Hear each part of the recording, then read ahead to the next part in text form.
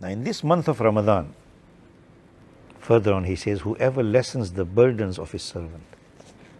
What does it mean? The employer reduces his workload on his employee. A master, he reduces his work in the month of Ramadan for his servants. And when we are in pandemic, we should not expect a lot because you know when we'll be sitting in the house वो चीज़ का Desire for desire desire for desire desire for desire desire for that. Do not make too much burden on your wife. best opportunity to become a cook in this lockdown. mashallah yesterday I made karai gosht. Eh, we tried, Alhamdulillah, made it nicely, Alhamdulillah. Because if your wife says it's nice, then it's nice. So it's something to learn. Unfortunately, if something happens tomorrow, you have no children to look after you, your wife becomes ill. Eh? So lessen the burden. Do not push too much burden in the month of Ramadan on your employees, on your servants, on your family. The Prophet ﷺ says, whoever lessens the burden on his servants in this month, Allah subhanahu wa ta'ala will forgive him and free him from the fire of hell. Imagine what a great reward if we lessen the burden. And then he says that there are four things which you have to do in the month of Ramadan. Number one, read the kalima tayyiba, lot of zikr, kalima tayyiba, la ilaha illallah, Muhammadur Rasulullah. The ulama says 100 times in the morning, 100 times in the evening. But now we have the time at home. We don't have to go to work.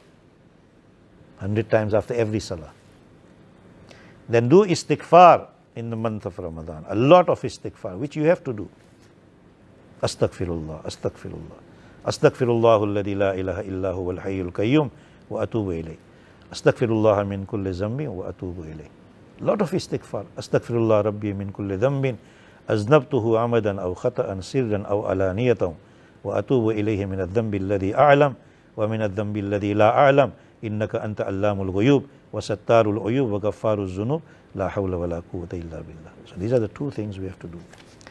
And there are two other things which the Prophet ﷺ says that you can't escape, you have to do it. And what is that? Allahumma inni as'aluka al-jannah. Ask for Jannah. Because we can't be successful without asking for it. وَنَعُوذُ بِكَ مِنْ عَذَابِ النَّارِ And Allah I seek refuge from the fire of hell. So Jannat mango, Jannam se panah mango. Khub istighfar karo, khub kalma bolo.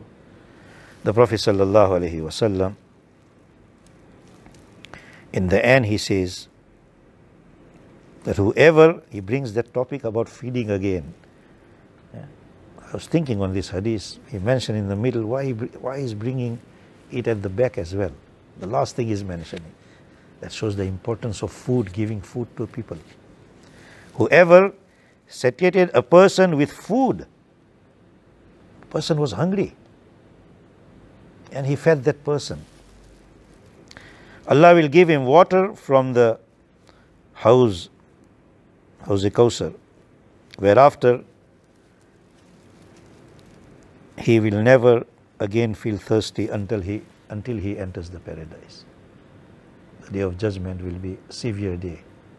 Sun will be above the heads. Person will be thirsty. They will be sweating, uh, flo floating in their own sweat. On that day, the Prophet ﷺ is saying, whoever feeds someone, he will be freed and he will enter Jannah. May Allah subhanahu wa ta'ala give us tawfiq. Subhanallah bihamdihi, subhanakallahumma bihamdik, wa nashadu an la ilaha illa anta nastaghfiruk.